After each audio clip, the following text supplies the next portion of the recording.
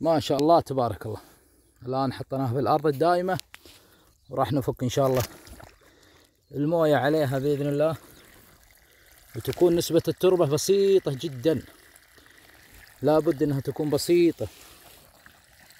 طبعا هذا كله قمة نامية هذا مجموع جذري أو مجموع خضري راح يطلع بإذن الله.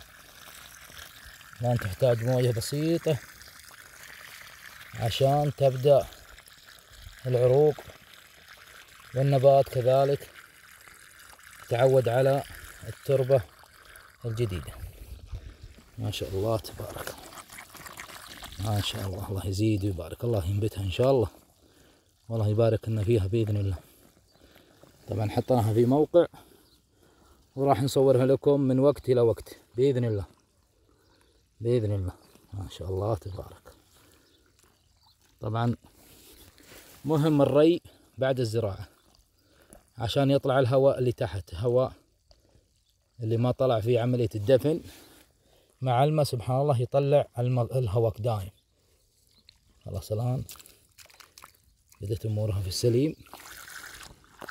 وراح نسكر الماء.